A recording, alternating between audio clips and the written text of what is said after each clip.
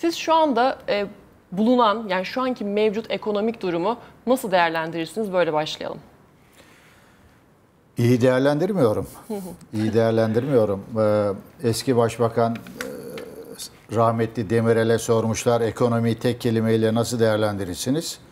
Cevap e, olarak iyi demiş. Ya nasıl olur? Enflasyon almış başını gidiyor, hayat pahalılığı olağanüstü, maaşlar az, ücretler az. E bir kelimeyle dediniz bana, ben de iyi değil, iyi dedim. Peki iki kelime olursa ne diyeceksiniz e, demiş. O da iyi değil demiş. İyi değil, hiçbir şey iyi değil. Uygulanan ekonomik politikanın da Türkiye'yi bir yere götürmesi, vatandaşı rahatlatması, nefes aldırması, vatandaşı mutluluğa eriştirmesi asla ve asla mümkün değil. Bu politikadan en kısa sürede dönülmesi gerekiyor. Ekonomi politikalarının, siyasal iktidarların temel amacı halkın mutlu olmasıdır. Üretimin artması, gelirin artması, artan gelirin adil bir şekilde vatandaşlar arasında dağılması ve günden güne her e, geçen e, gün, her geçen yılda vatandaşın refahının artmasıdır. Eğer ekonomi politikası bunu sağlayamıyor da refah artmak yerine insanlar, vatandaşlar refah kayıplarıyla karşılaşıyor ise, daha çok yoksullaşıyor ise, maaşı, ücreti, geliri, e, günlük harcamasını karşılamaya yetmiyor ise ekonomi politikası yanlış demektir. Hı hı. AK Parti 20 yıldır iktidardadır. Tam 20 yıl oldu. Türkiye Cumhuriyeti'nde de 20 yıllık iktidar hiçbir e, kişiye, hiçbir insana kısmet olmamıştır. 20 yılda ülkeyi bir yerden alıp bir yere taşımanız gerekir. Ama maalesef e, ekonomik duruma baktığımızda diğer alanları e, ayrıca değerlendirmek lazım tabii ki. E, AK Parti'nin bu geldiğimiz noktada yani 2022 yılında Türkiye'yi aşağı yukarı 17 yıl kişi başına gelirdi 17 yıl geriye götürdüğünü görüyoruz. Bakın geçen yılın kişi başına geliri 9539 dolardır. Bu rakam 2007 yılının kişi başına gelirinin gerisindedir. 2007 yılının kişi başına geliri 9700 dolardır. Yani ileriye gitmeyi bırakın aslında e, geriye gittik. Sürekli geriye gittik. Geriye gittik. Ben 2007'yi örnek verdim. 2012 yılında Türkiye'nin kişi başına düşen milli geliri 12.500 dolardır. Yani toplam milli gelir nedir? Bunu bu ülkede yaşayan insan sayısına, nüfusa bölüyorsunuz. Kişi başına geliri böyle buluyorsunuz. Hı hı. Bakın 2007'de 9700 dolarlardaymışız. Geçen yıl ki geçen yıl ekonomi çok büyük bir büyüme kaydetti. %11 oranında büyüdü ekonomi. Buna rağmen bizim geldiğimiz e, gelir e, seviyesi 9539 dolar. Burada 5 milyon Suriyeli Afganlı yok.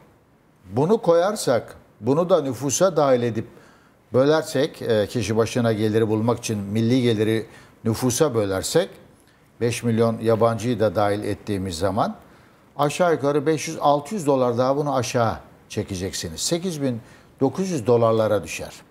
Çünkü onların onlar üretimde bulunuyor, faaliyette bulunuyor. iş yeri açıyorlar. Ekonomiye katkıda bulunuyor ama üretilen e, geliri, toplam geliri nüfus e, nüfusa böldüğümüz zaman kişi başına geliri bulmak için hesap yaptığımız zaman yani TÜİK bu hesabı yaptığı zaman onları saymıyor. Neden? Onlar vatandaş değil diyor çünkü. Aslında onları da sayarsanız bu gelir 500-600 dolar daha aşağı iner. 8900 dolarlara iner. Bakın nereden nereye geldik? 2012 yılı 12.500 dolarda Türkiye'nin kişi başına geliri. Şeylerle kıyaslamıyorum. AK Parti 2011 seçimine girerken 100. yıl hedefleri demişti. 2023 yılında Türkiye'de kişi başına gelir 25 bin dolar olacak demişti. Bunları bir kenara bıraktım. Bunlarla kıyaslamıyorum. Ee, bu büyük bir yoksulluk demektir.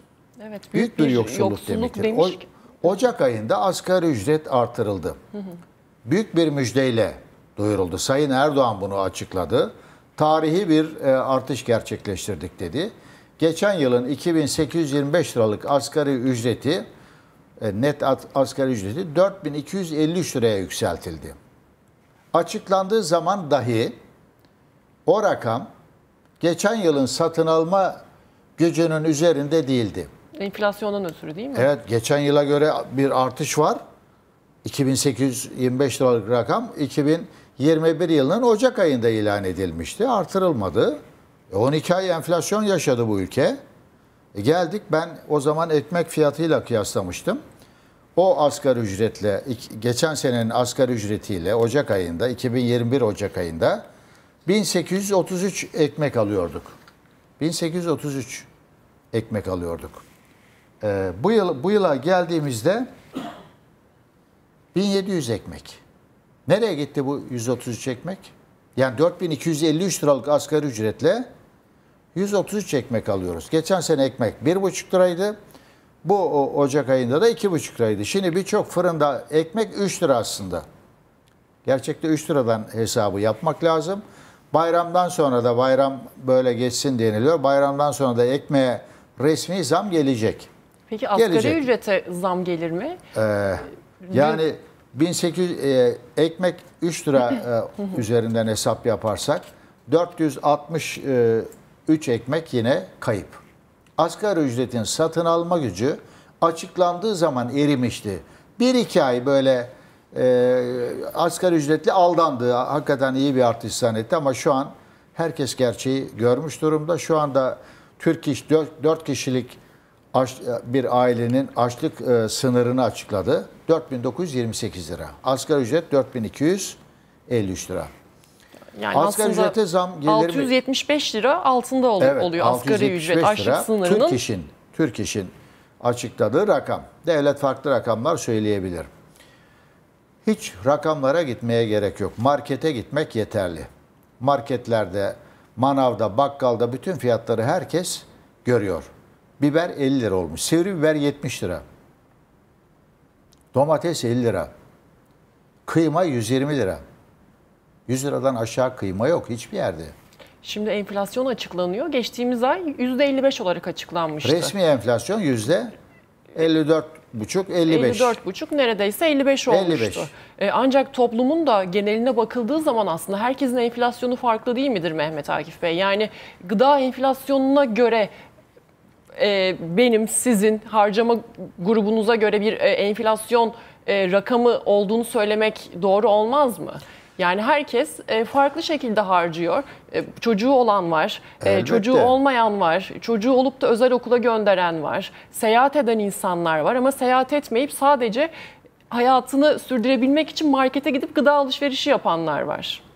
Bu sefer gıda enflasyonuna bakmak daha doğru olmaz mı aslında her bireyin Şimdi, enflasyon noktasında? Elbette herkesin enflasyonu farklı. Asgari ücretli bir e, işçinin, çalışanın enflasyonu farklıdır. Ne var onun enflasyon sepetinde? Hangi ürünleri tüketiyor? Gıda, en temel ihtiyaç maddesi gıda, ulaşım, dolmuşa biniyor, otobüse biniyor, toplu taşıma vasıtalarına e, biniyor, e, kira, Ee, ve bu tip e, zorunlu harcamalar. Elektrik, doğalgaz, telefon, su onları unutmayalım. Doğalgaz, elektrik olağanüstü. Bunlar artık bir ailenin bütçesi üzerinde, e, bütçesi içerisinde olağanüstü yükler e, oluşturuyor. Yani enerji aslında her şeyi sirayet ediyor Elbette diyebilir miyiz? elektrik, doğalgaz yani enerji dediğimiz kalem e, bütün bütçelerde çok büyük bir yer tutuyor. Sadece çalışan değil, ücretli değil.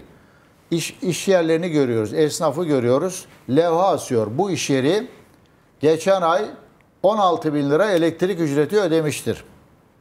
Şu kadar doğalgaz ödemiştir diye levhalar asıyorlar. Ve buna karşılık iktidarın e, yaptığı açıklamalar şu şekilde.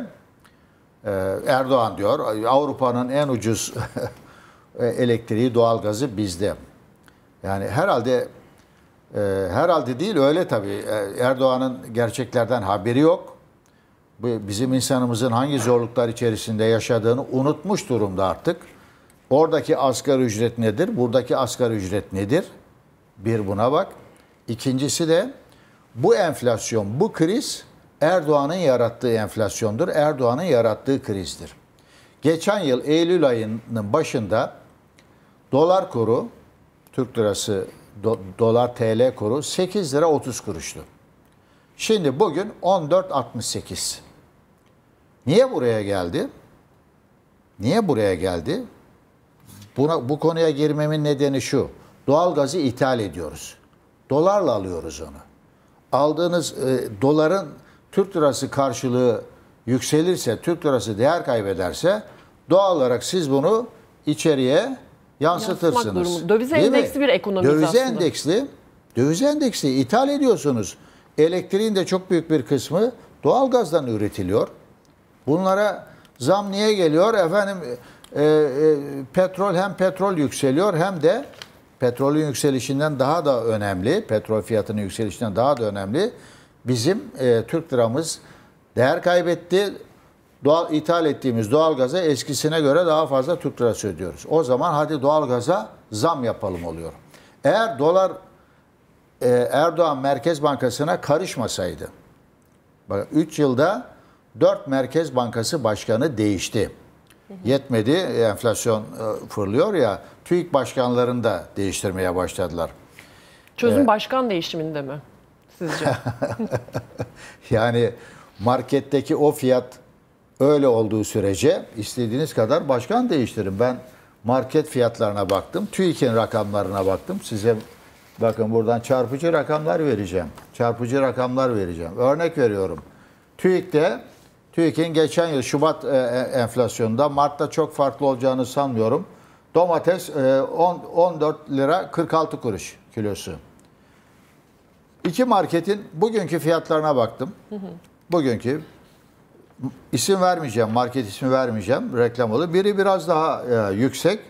Ben düşük olanı aldım. 29.50. 14'tü 29.50 oldu. Evet. Şeydeki fiyat. Marketteki fiyat. Marketteki. Aslında %100'ün üzerinde bir Evet bakın fiyat e, e, sivri biber geçen yıl şu- geçen ay Şubat'ta 22 lira e, kilosu. TÜİK'in rakamına, TÜİK'in enflasyon sepetindeki sivri biber bu. E, ucuz olanı söylüyorum. e, o- 39 lira 50 kuruş kilosu. Çoğaltabilirim onu. Karnabahar öyle, et öyle, kırmızı et öyle, tavuk eti öyle. Şu TÜİKçi arkadaşlar bu fiyatları hangi marketten alıyor ise bunu söyleseler de vatandaş da gidip oradan alsa. Ama eminim TÜİK'in bu fiyat toplayan elemanları dahi gidip e, bu fiyatlardan alışveriş yapma imkanlarına sahip değiller. Çünkü bu fiyatlar gerçekçi değil. Bu fiyatlara da müdahale edildiği, ona göre marketlerin belirlendiği kanaatindeyim. Şimdi e, enflasyon diyoruz. En önemli problemimiz enflasyon. Ama iktidar tarafı diyor ki biz böyle bir e, sorunla karşılaştık. Yani sizin o söylediğiniz problemlerden e, söz etmek e, bir yana e, sadece sanki Ukrayna krizi, işte ondan önce Covid-19, işte pandemi e, dönemi Evet, evet. bir krizle karşılaştık havası var. Siz bunu nasıl değerlendiriyorsunuz? Yani bu bir Ee, göz boyama mı? Markete gittiğinde vatandaş bu fiyat artışlarını anlamıyor mu? Ya da kandırdığını mı zannediyor Hiç- acaba iktidar? Hiçbirisi doğru değil. Hiçbirisi doğru değil. Asla doğru değil. Ee, şu cümlem yarım kaldı. Aynı zamanda bu sorduğunuz sorunun da cevabı olacak o. Geçen yıl Eylül ayında 8 lira 30 kuruştu. Bu yıl e, şimdi şu an dün 14 lira 68 kuruş dolar e, TL kuru. Ee, Erdoğan eğer Merkez Bankası'na müdahale etmeseydi, onun faiz politikasına karışmasaydı dolar bugün 9 lira seviyelerindeydi. Bakın 9 lira seviyelerinde olan bir dolar, 10 lirayı aşmamış olan bir doların olduğu Türkiye ekonomisinde bu o, fiyatları görmeyecektik biz. Peki Merkez Bankası'na müdahale etmeseydi dediğiniz e, acaba para politikası noktasında mı? Para politikası tabii ki Mer- Merkez Bankası'nın kullandığı tek araç faizdir. Faizi yükseltir, düşürür. Faizi yükseltir, düşürür. Eğer enflasyon yükseliyor ise Merkez Bankası faizi yükseltir ki insanlar harcamaya yönelmesin, tasarrufa yönelsin. Çünkü faiz tasarrufun fiyatıdır. Bankaya, bankaya yatırdığınız mevduatın karşında aldığınız faiz eğer enflasyonun üzerinde ise harcamazsınız. Param değerini koruyor dersin, dersiniz. Eğer onun altındaysa bir an önce harcayayım dersiniz. Bu paranın değeri kalmayacak çünkü dersiniz. Merkez Bankası'nın görevi vatandaşın cebindeki e, paranın satın alma gücünü korumaktır. Fiyat istikrarını sağlamak diyoruz buna. İstikrar.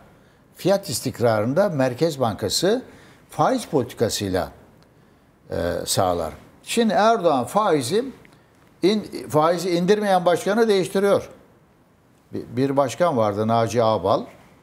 Kısa bir dönem kaldı. Geldiğinde 8 lira 53 kuruştu e, dolar kuru. Giderken faizi yükseltti. 7 lira 22 kuruşa inmişti. Hatta 6.90'a bile inmişti. Ee, Erdoğan, Sayın Erdoğan beğenmedi bunu.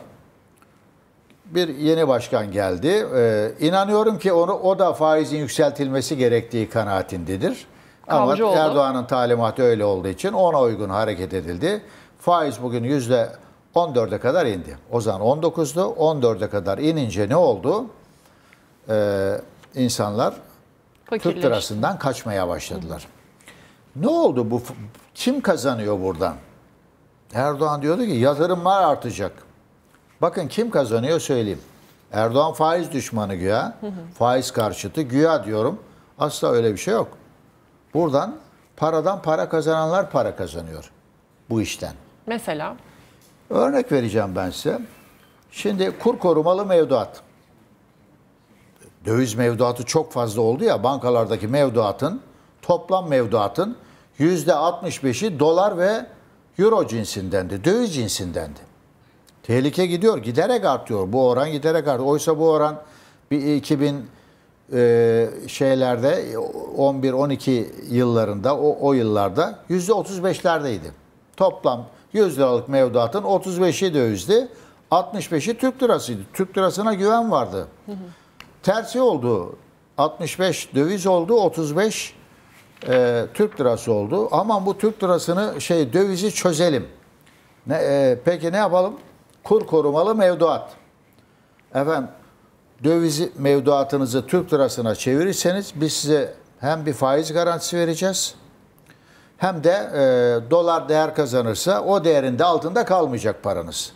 Eğer faiz oranı doların değer artışının üzerinde ise o faizi de ilave olarak alacaksınız. Oh mis gibi. Bozdurmaya başladı insanlar. ama sistemi tamamen dolarize eden bir Dolarize ediyor. Enstrüman. Aslında bütün mevduatı dolara endekslediğiniz zaman ne olur? Eskiden %65'i dolar cinsindendi mevduatın. Bütün mevduat dolar cinsinden olmuş olur. aslında bu sisteme girenler Türk lirasına değil de dövize güvendiği için Dövize güveniyor. Bu, bu Türk lirasından kaçıştır başka bir şey değil. Şimdi doları olan Türk lirasına çevirdi. Bankaya yatırdı.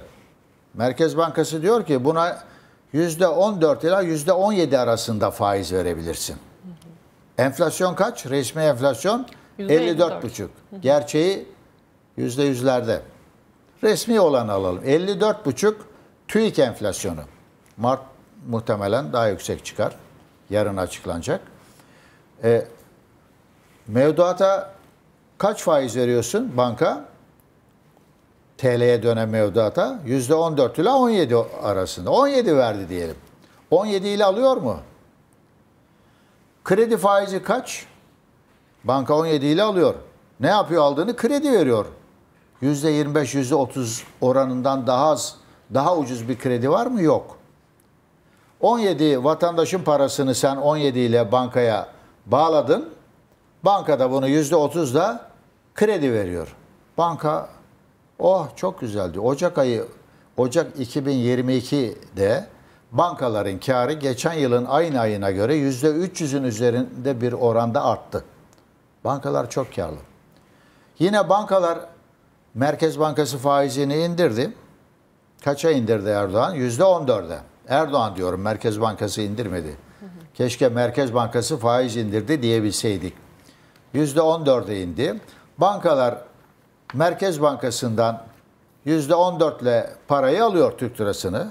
Faizi yüzde on dört. Merkez Bankası Ankara'da Ulus'ta. Oradan parayı alıyor. Hazine Eskişehir yolunda Ankara'da. Tabii fiilen oraya gitmiyor. Hani canlandırmak için e, e, gözümüzde söylüyorum. 14 ile parayı alıyor. Eskişehir yolundaki hazineye %27 ile veriyor. Hazinenin son yaptığı 22 Mart'ta yaptığı ihalenin yıllık borçlanma faizi 4,5 yıl vadeli tahvil ihalesi yaptı. %27,55. 14 ile Merkez Bankası'ndan aldı. E, hani Ya da nas- %14-17 arasında bir faizle vatandaşın kur korumalı mevduatını aldı. %27 ile hazineye borç verdi. Kim kazanıyor buradan? Sisteme parasını Bakın bu politikanın çıkışı yok. sahibi. Çıkışı yok. Faizi faize karşıyım ben dedi. İndirdi faizi. Bakın sonuçlarını gör- görüyorsunuz. Bunun bunun toparlanma imkanı yok. Kur korumalı mevduatta şu ana kadar 610 milyar lira birikti. Birikti değil. Bu para zaten banka sistemindeydi. Ya döviz olarak, dolar olarak duruyordu ya da vatandaşın Türk lirası mevduatı olarak du- duruyordu. Türk lirası mevduat e, sahipleri kur korumalı mevduata geçmeye başladı. Dolar sahipleri de hepsi değil tabii kur korumalı mevduata geçiyor. Siz, bu para zaten banka sistemindeydi. 610 milyar e, Türk lirası kur korumalı mevduatın ulaştığı rakam. Mart e, 25 Mart tarihi itibariyle rakamlar da tam açıklanmıyor. Açıklandığı kadarıyla söylüyorum. Bunun Ocak ayı e, 22 Ocak'a kadar olan e, kısmının tutarı 203 milyar liradır. Yani 17 Aralık 2021'de kur korumalı mevduat başladı. Sonra 22 Ocak'taki tutarı 203 milyar lira. En az 3 ay vadeli açılıyor. Ee, şirketlere 6 ay e, de- denildi. Bunun şu an Nisan'da da olacak bu. Ee, 22 Ocak va- vade başlangıcı alalım. Ee, Nisan'da da olacak vadesi, 3 ayın vadesi. 3 aylık maliyeti 29 milyar lira. Bu maliyetin 21 milyar lirası bütçe ve Merkez Bankası tarafından karşılanacak. Peki bilmeyen seyircilerimiz de öğrensin. Yani ne demek bu söylediğiniz şey? Onlar tarafından karşılanıyor, hazine tarafından karşılanıyor. Bütçe Evet. büyük tahribat görüyor. E, Ancak dar gelirli, işçi, memur, emekli bu sisteme giremeyen insanlar buradan nasıl dezavantajlı olarak çıkıyor? Ee, işte e, dar gelirli vatandaşımızın, çalışanın, esnafımızın, Türkiye'deki bütün herkesin mal alırken, marketten alışveriş yaparken, domates alırken, ekmek alırken, e, ne bileyim tüketim maddeleri alırken, bebek bezi alırken ödediği KDV ile, diğer vergiler ile, elektrik yaktığınız zaman ödediğiniz vergiler ile bu parayı ödeyecek devlet. Bu faizi, bu mevduat sahiplerine bu faizi vatandaşlar ödeyecek. Hepimiz ödeyeceğiz. Bu, bunun anlamı budur. Halk daha yoksullaşacak. Aslında seçime doğru giderken iktidar para politikası yerine kur korumalı mevduat enstrümanını böyle o- ikame etmiş gibi bir şey var diyebilir miyiz? Elbette. Yani çünkü bir Para- politikamız yok şu Para anda. politikası diye bir şey bir